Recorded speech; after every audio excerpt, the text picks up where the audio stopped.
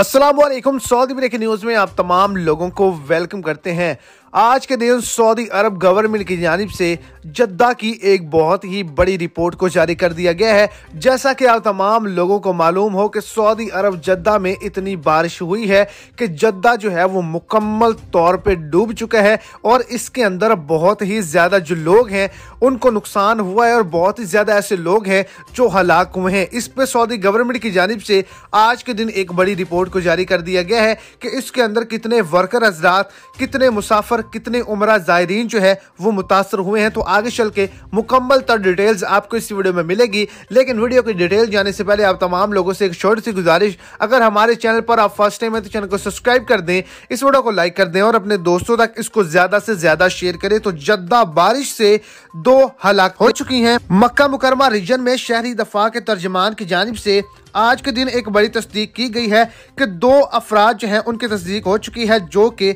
हलाक हो चुके हैं और दीगर की जो रिपोर्ट है, वो भी बहुत ही जल्द जारी कर दी जाएगी कि इसके अंदर कितने लोग जो हैं, वो शदीद जख्मी हुए हैं, कितने लोग जो हैं, उनका क्या नुकसान हुआ है और कितने लोग जो है, वो मुकम्मल तौर पर हलाक हो चुके हैं।